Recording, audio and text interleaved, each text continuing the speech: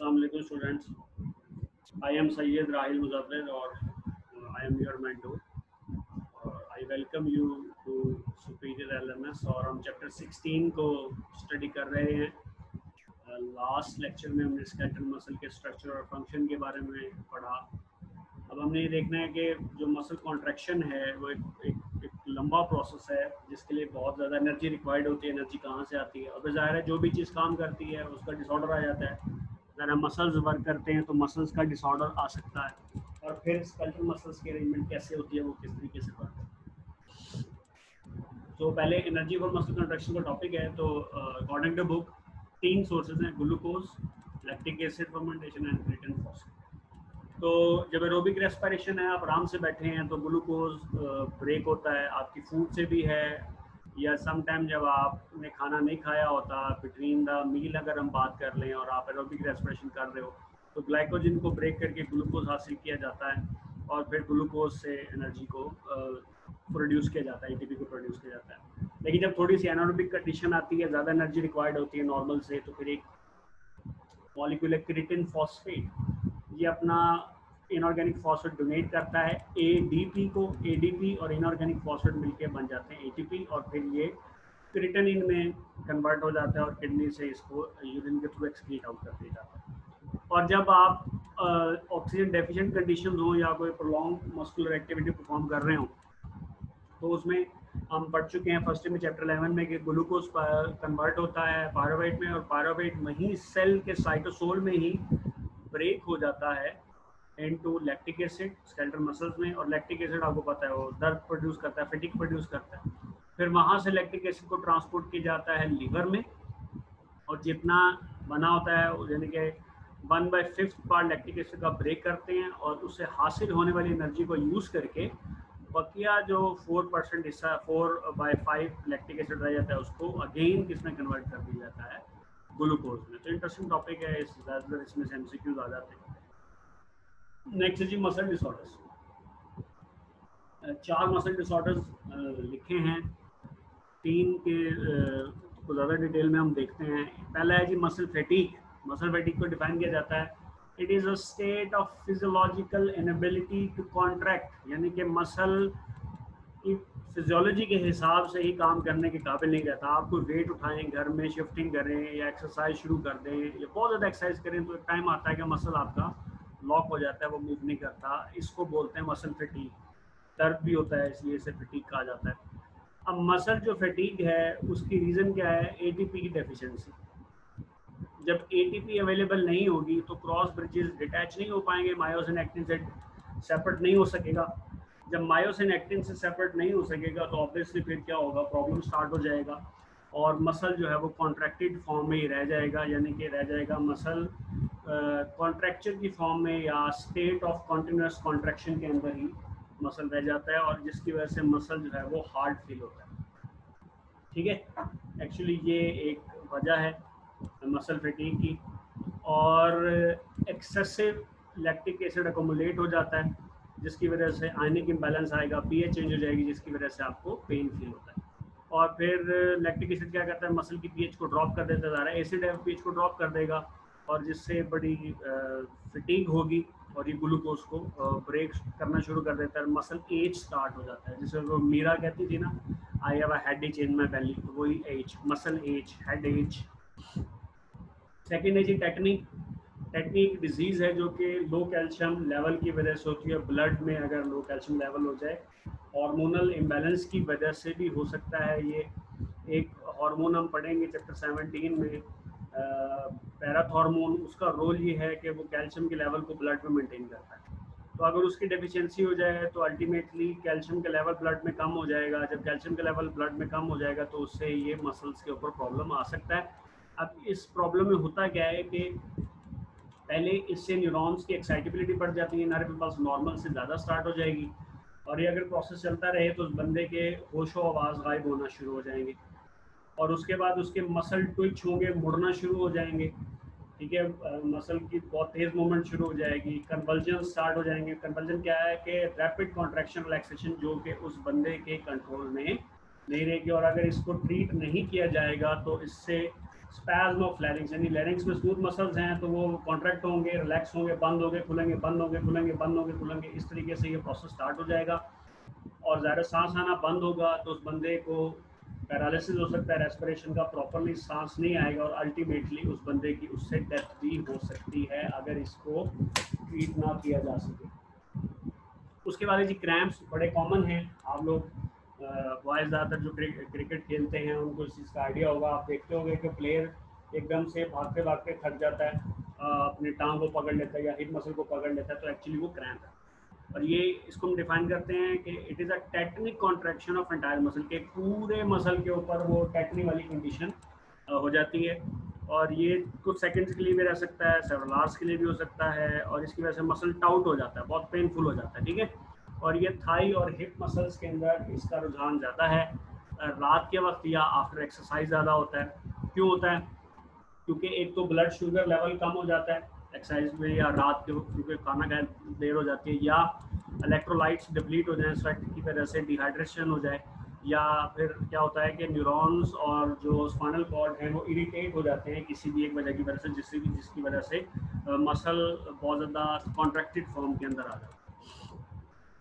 अब ये देख सकते हो कि ये मसल फिटिंग है जो कि डिफरेंट पार्ट्स के अंदर है। ये मसल क्रैम्प है जो कि यहाँ पे इस मसल में शो हो रहा है और ये टेटनी मस्कुलर टेटनी के सिम्टम्स है, उससे मसल ट्विचेस आ जाते हैं। फिर एक टेटनस है टेटनस भी एक मसल्स को ही डैमेज करता है, लेकिन इसका कॉज डिफरेंट है इन्फेक्शियस डिज़ीज़ है और ये एनोरोबिक बैक्टीरियम है क्लोस्ट्रोडियम टेटनी ठीक है? और इसके स्पोर्स वगैरह होते हैं, ये फीसेस जो रोड पर पड़ा होता है डिफरेंट एनिमल्स का, उसमें मौजूद होता है। इसमें होता ये है कि स्केल्टर मसल्स का पेनफुल कॉन्ट्रेक्शन रिलैक्सेशन होती है और ये परसिस्ट करता है, यानी थोड़ी देर के लिए नहीं होता, ये काफ़ी लंबे देर के लिए हो जाता है। और फिर इससे आहिस्ता आहिस्ता जॉ मसल में स्टिफनेस आती है फिर वहाँ से नेक मसल्स में ये प्रॉब्लम जाएगा, फिर आहिस्ता आहिस्ता जॉ जो है उसका रिजिड होना शुरू हो जाता है और लॉक हो जाता है जॉ और फिर इसके अलावा ट्रंक जो है उसमें स्पैज आना शुरू हो जाएगा। ठीक है? और लिम्स के जो मसल्स हैं, उनमें स्पैज्म आ जाएगा और इससे रेस्पिरेटरी फेलियर की तरफ़ इंसान जा सकता है। और ये बहुत ही खौफनाक प्रॉब्लम है, इससे डेथ भी हो जाती है। और जो डेवलप्ड कंट्रीज़ हैं, उनके अंदर ये ज़्यादा है और डेवलप कंट्रीज़ में इससे ज़्यादा डेथ डेथ्स होती है। मोर्टेलिटी रेट फिफ्टी परसेंट है इस डिज़ीज़ की वजह से डेवलप कंट्रीज़ में। और दोस्तों, उसके बाद एक छोटा सा टॉपिक है कि एक्सरसाइज का मसल्स के ऊपर क्या अफेक्ट होता है। एक्सरसाइज का जी मसल्स के ऊपर बहुत ज़्यादा इंपॉर्टेंट इफ़ेक्ट है। आप एक्सरसाइज करें तो उससे ही होता है माइटोकॉन्ड्रिया बढ़ जाता है कैपलरीज उस मसल के अंदर बढ़ जाती हैं, ज़्यादा ब्लड जाता है मायोग्लोबिन ज़्यादा ट्रांसफ़र होगा, ज़्यादा ऑक्सीजन स्टोर होगी मसल जो है वो फटीक रेजिस्टेंट हो जाता है, और मसल में हाइपरट्रॉफी हो जाती है। हाइपरट्रॉफी से मुराद ये है कि मसल की लेंथ बढ़ती है मसल का नंबर नहीं बढ़ता, ठीक है? और अगर कंप्लीट इमोबलाइजेशन हो जाए तो बंदा मसल को यूज़ ही ना करे तो उससे जो कंडीशन होती है, वो कहलाती है एट्रॉफी फिर स्केटल मसल्स के अरेंजमेंट है मूवमेंट के लिए। तो पहले तो पार्ट ऑफ़ मसल तीन पार्ट्स होते हैं origin insertion and belly origin क्या है? मसल का वो एंड जो फिक्स रहता है, जब मसल कॉन्ट्रैक्ट करता है। इंसर्शन है जी end of muscle that move the bone और बेली क्या है? वो पार्ट है जो कॉन्ट्रैक्ट करता है और ये इंसर्शन और ओरिजिन के दरमियान में होता है। फिर उसके बाद लिगामेंट्स और टेंडन्स का डिफरेंस है। अब लिगामेंट्स क्या हैं? ये कनेक्टिव टिश्यू की टाइप है जो कि बोन को बोन के साथ अटैच करते हैं और टेंडन क्या है, ये कनेक्टिव टिश्यू की टाइप है जो कि मसल और बोन को आपस में अटैच करते हैं। लेगामेंट स्लाइटली इलास्टिक है और टेंडन बिल्कुल ही इलास्टिक होते हैं। डिफरेंस को याद रखना आपने पेपर में अक्सर आता है और ये आप डायग्राम में देख सकते हो। लिगामेंट भी वाजे है और इसमें टेंडन भी वाजे है। फिर मूवमेंट ऑफ़ बोन्स है। देखिए बोन्स मूव करती है मसल की कॉन्ट्रेक्शन की वजह से। टेंडन जो है, वो मसल को बोन से एंकर करते हैं। और जब मसल कॉन्ट्रैक्ट करता है, वो टेंडन को पुल करता है और टेंडन फिर बोन को पुल करता है। और बहुत सारे जो मसल्स हैं, वो जॉइंट के क्रॉस इस तरीके से होते हैं कि उनका एक एंड जॉइंट की एक तरफ़ होता है, दूसरा एंड जॉइंट के दूसरी तरफ़ बोन में होता है। जब मसल कॉन्ट्रैक्ट करता है तो जॉइंट की परली तरफ़ वो जिस बोन के साथ अटैच है, वो उस बोन को मूव आउट करते हैं। तो ये सारा प्रोसेस इस तरीके से चलता है। अब जॉइंट के ऊपर जो मसल्स हैं, वो पेयर के अंदर काम करते हैं कि एक मसल कॉन्ट्रैक्ट करता है तो दूसरा रिलैक्स करता है। ठीक है, और इसको बोलते हैं एंटागोनिस्टिक मेथड एंटागोनिस्टिक अरेंजमेंट जैसे अभी हम इसके एग्जांपल भी पढ़ेंगे। आपकी बॉडी में 650 टाइप्स के स्केलेटल मसल्स हैं और उसमें से ज़्यादा एंटागोनिस्टिक है और इनकी लिवर मूवमेंट ऐसे लिवर में नहीं होती कि सेंटर में आप लीवर के एक साइड पे वेट रखेंगे तो दूसरा इजी हो जाएगा, एक साइड नीचे हो जाएगी, दूसरा ऊपर हो जाएगा, दूसरे में वेट रखेंगे वो नीचे होएगा, पहले वाला ऊपर हो जाएगा। नहीं एक दूसरे के ऑपोजिट काम करते हैं। एग्ज़ाम्पल है जी एल्बो जॉइंट के ऊपर। पहले जो इनके मसल याद रखें, चार मसल हैं, एक है बाइसेप्स ब्रेकाइस में है ब्रेकिलस है ब्रेकोरेटिलस है, और चौथा मसल है ट्राइसेप जो पहले तीन है, इनका एक काम है, जो ट्राइसेप है, इसका इनके ऑपोजिट काम। ओरिजिन बाइसेप बोलते ही बाई यानी दो को कहते हैं, क्योंकि ये स्कैपुला से अराइज होता है, इसके दो हेड्स होते हैं और इसका इंसर्शन कहाँ है? जी अल्ना में और ये अफेक्ट क्या करता है? जी फ्लेक्शन ठीक है ब्रेकुलस का ओरिजिन ह्यूमरस में है इंसर्शन अल्ना में है अफेक्ट अगेन इसका फ्लेक्शन है। ब्रेकोरेटिलस का ओरिजिन ह्यूमरस में है इंसर्शन अल्ना में है और ये अफेक्ट क्या करता है? फ्लेक्शन फ्लेक्शन का मतलब ये कॉन्ट्रैक्शन करवाता है। ट्राइसेप ये स्कैपुला से राइज होता है थ्री एट से इसलिए ट्राइसेप बोलते हैं इंसर्शन इसका अन्ना में है अफेक्ट इसका एक्सटेंशन है। यानी कि जो बाइसेप है, वो जॉइंट पे आपके बाजू को मोड़ देगा।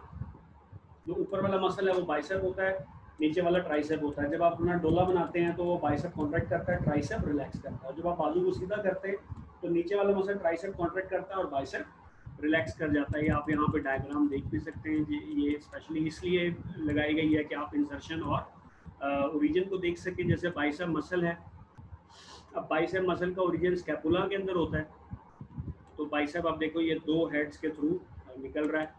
और इसका इंसर्शन कहाँ है? अल्लाह में। तो यहाँ पे अल्लाह के अंदर ये पेनिट्रेट हो रहा है। तो आप, ये डायग्राम सिर्फ़ इस वजह से ताकि आपको इंसर्शन और ओरिजिन का क्लियर आइडिया हो जाए अब आप ये देख लो, मैं जो बात कर रहा था कि एक्सटेंशन और कॉन्ट्रेक्शन की जो बात हो रही थी, ये फ्लेक्शन है। ये ट्राइसेप रिलैक्स कर रहा है बाइसेप कॉन्ट्रैक्ट कर रहा है। यहाँ पे बाइसेप रिलैक्स कर रहा है और ट्राइसेप कॉन्ट्रैक्ट कर रहा है। पाँच नंबर के कुछ क्वेश्चन हैं। जैसा है कि which is the end of muscle which remains fixed when the muscle? Contracts फिर there are dash type of muscles in the human body, आपने बता बताने टेटनस कैसे होता है? फिर शॉर्ट क्वेश्चन है कि इंसर्शन और रीजन में क्या फ़र्क है? फिर एंटागोनिस्टिक एक्शन ऑफ़ मसल्स क्या होता है? टेंडर लिगामेंट में क्या फ़र्क है? और क्रैम के क्या कॉजेज हैं? ये क्वेश्चन है। अगेन आपका कोई क्वेश्चन हो, आपको चीज़ ना समझ आई हो तो ज़रूर पूछें कमेंट सेक्शन में। ज़रूर हिस्सा लें और मेरे इस चैनल को ज़रूर ज़रूर सब्सक्राइब करें, इस वीडियो को लाइक करें शेयर करें, इस पर कमेंट करें अपना फीडबैक दें ताकि हम चीज़ों को बेहतर कर सकें। इंशाल्लाह नेक्स्ट लेक्चर में मुलाकात होगी। तब तक के लिए अपना ख्याल रखें।